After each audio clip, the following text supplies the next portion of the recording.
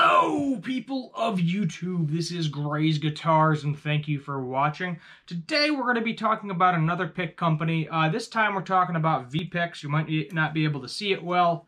There's a couple here. Uh, so this is called the Traditional Light. Uh, this is like the tradition uh, Ruby uh, Medium Light. And then I have one that is called the Gypsy. That is rounded, and I'll explain why I chose these picks. But uh, more importantly, we're going to be talking about their customer service. So, when I got these picks, um, I actually was gifted to them during Christmas time, and I got all of them, and they came in the mail uh, in a paper thin package. They were uh, uh, duct taped or double sided taped rather uh, to a piece of cardboard.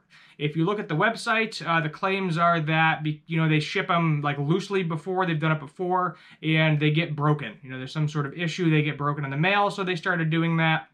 So they no longer get broken when shipping them in the mail, and I can understand that. However, not only do they come with double-sided tape stuck to them, uh, which he recommends, you know, using warm water and soap to rub the adhesive off the back because you cannot use paint thinner. So a lot of people that, um, you know, paint thinner, uh, Gooby Gone, Goof Off, things along those lines, do not use that on these picks because they will eat the pick. And you're probably not going to get a refund because he has it listed on the website. So I understand the reason to be shipped that way. However, comparing it to something very similar, uh, you know, Gravity guitar picks, I will they they ship theirs in a little bit of a different way. So the Gravity guitar picks come in this little bag right here, and um, they actually come in a bubble packaged envelope. So even if they do get bounced around, they're really not going to get broke.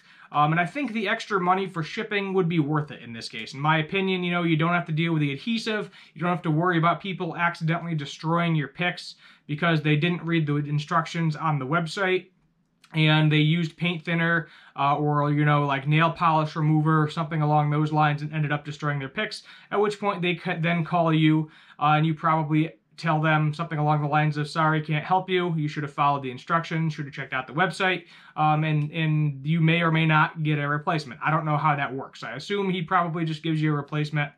Uh, this is an individual that's doing that. I don't know how many people work for V-Picks, uh, but he did specify, you know, this is an individual. They are handmade in his garage. Um, he uses the materials. Uh, he uses some sort of laser cutter, some sort of flame finisher, you know, to get them hard and solid, ready to rock. And um, they do have imperfections on them. At least my first lot did.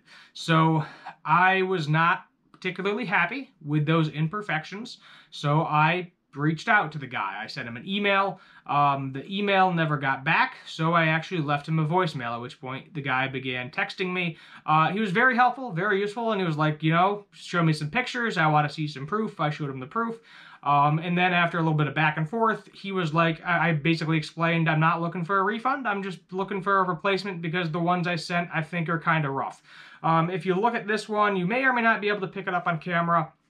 There is a grind mark around the entire pick. And just around the edges, you know, there's like little slashes, things along those lines. Uh, this one, th there's some, you know, a little bit of scratches, a little bit beat up on the front. Uh, overall, the actual tip is fine. Uh, and then the ruby here, um, there's a line, may or may not be able to pick it up depending on the light. Kind of goes right through the side. Uh, so I wasn't, you know, 100% happy with the order, and he worked with me. And I greatly appreciate that. Got my replacements. The replacements are all fine. Uh, no real issues there. Um, these ones I probably am, I, I don't know, I might use them. I might toss them in the garbage. Um, because I just didn't think for, you know, paying $5 for one single guitar pick when I can get, you know, an entire pack of Dunlops. I know it's not the same quality. I know it's not the same material, but I can get an entire pack of Dunlops for four, like $4 and some odd change, like a 12 pack. Um, tax, shipping, whatever. And 9 out of 10, there's going to be zero imperfections whatsoever. And then I'm paying $5 for something and there's imperfections in it. So you can see, I think, on my end where I was kind of slightly annoyed, um, just the way it was kind of shipped, uh, the way that the picks arrived, the way they looked. Um, I haven't even played, I don't think I've even used any of these yet. I'm going to use the new ones that I got. Uh, I will try them out, test them, do a video. However, I did have a lot better experience the one of the first times I actually bought some picks. Uh, this is the Euro uh, the V-Picks Euro. It's got holes in it, and I got a three pack of these um, a while back. I think just to try, you know, try something else.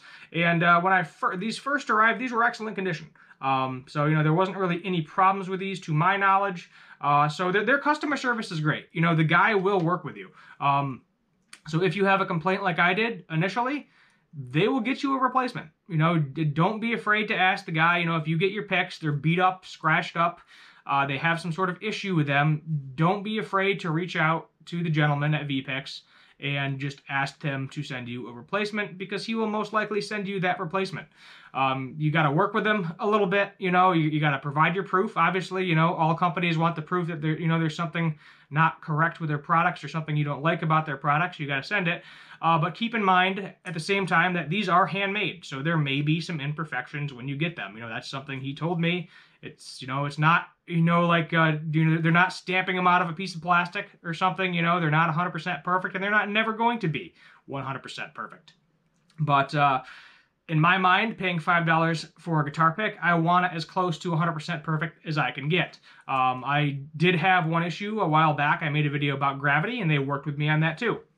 Uh, but I am very thankful that V-Picks worked with me. I will enjoy, I think, trying out these three new style picks and I'll be making a video about them as well in the future. So the ones I got here, as I said, this is like your traditional style pick. And I'm probably going to do like a shot-by-shot comparison uh, between this and the Gravity Classic, the 1.5, because they're basically the same exact pick, uh, same exact thickness, and similar to Gravity, because I've talked about them quite a lot too. Large variety of different sizes. Um, I think there's even like a 64 millimeter pick something like this thick. It's crazy. They got some crazy stuff on their website, so feel free to check them out. I'll probably put a link to them. Uh, great company overall, great products, you know, but, but keep in mind that I'm just giving you my experience with this second order. First order, absolutely no problem. They did ship them, the first time I ordered them, I got a bag like this. Um, not exactly like this. I think it was a little smaller, but I did get like a Ziploc bag like that the first time I ordered the Europix. Uh, so maybe it was just, you know, a shipping issue where a lot of things were breaking, but I honestly, I think if they go with like a bubble pack packed envelope, you know, back to the Ziploc bag, there won't be any problems. You know, you don't have to worry about, uh, you know, using adhesive to stick them to a piece of cardboard. They get shuffled around in the mail. The cardboard rubs on the picks, scratches them up more. Uh, you know, call basically that's I think what ultimately caused my problem is just you know the mail carriers you know getting jumbled around uh, without you know ready protection for the picks getting shipped to me. Uh, that is what it is. But uh, I will do at some point, as I said, I'm going to talk about all three of these. Um, I'll bring out a guitar, which I don't do very often on my videos. Let's be honest. Uh, but we'll get a guitar. We'll play a little bit of music.